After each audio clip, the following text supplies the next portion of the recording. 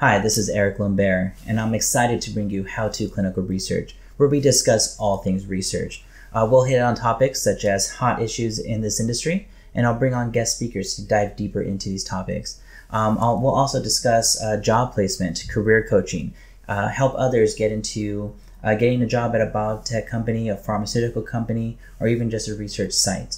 Uh, I'll also discuss um, issues uh, dealing with business development, helping those that currently have a research site or for those that plan to open a research site. Uh, tips and tricks on experiences that I've had um, in the past uh, to help others uh, with these ventures of theirs.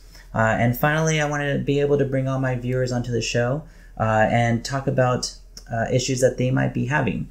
so I can try to help answer some of those questions, such as um, finding new clinical trials that can bring in higher revenue or to um, better treat their patient populations or even just how to uh, find and hire the right uh, support team.